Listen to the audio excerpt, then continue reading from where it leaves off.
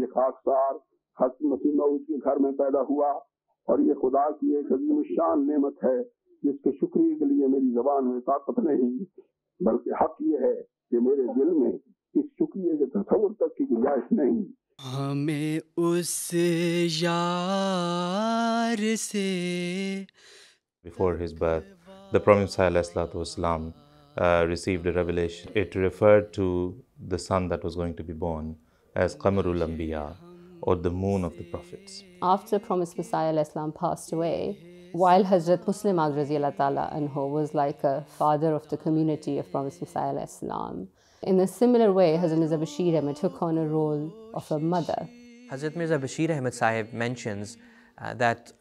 I was reflecting over certain revelations and prophecies of the promised Messiah والسلام, it came to me that a time would come when the community would have to leave its headquarters in Qadian. Hazrat Muslim Maud said, You have realized this now. I have been saying this for the last 10 years. फसाद हो रहे हैं मार रहे हैं कादियों के इर्द हमले हो रहे हैं एनजीओ को मारा जा रहा है मैं नक्शा साथ बना के ले गया था अस्सी गाँव पर कादियों पर हमला हो चुका था और जला दिए गए थे और मार दिए गए थे In those circumstances, it came to such an extent that Hazrat Khalifa Masih Sani wrote a letter stating in that that if something happens to me, then Hazrat Mirza Bashir Ahmad Sahab anhu, should take over the leadership of the Jamaat till the time a new Khalifa is elected. हजरत साहब जिस काम में तफसील के साथ जाने की ज़रूरत होती थी और हजरत साहब की मसरूफियात इसकी इजाज़त नहीं देती थी तो वो फिर काम पड़ता था कि हमें बशीरम साहब पर His is not an empty theoretical scholarship. Rather, Hazrat Mirza Bashir Ahmed enjoys a personal relationship with Allah the Almighty.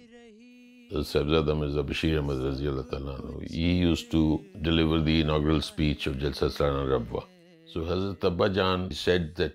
ये खुदाई काफिला है इसको मेरी और आपकी वफात नहीं रोक सकती ये बढ़ता चला जाएगा दुनिया से हमारी वापसी का वक्त आए तो हज़रत मसीह सलाम और अम्मा जान रज़ी अल्लाह की रूहें हमें देख कर खुश हों कि हमारे बच्चों ने हमारे बाप अपने आसमानी आका का दामन नहीं छोड़ा और हम सब खुदा के हजूर, सुर्ख रू होकर पहुँचे। आमीन फसुबहान अखजल आदि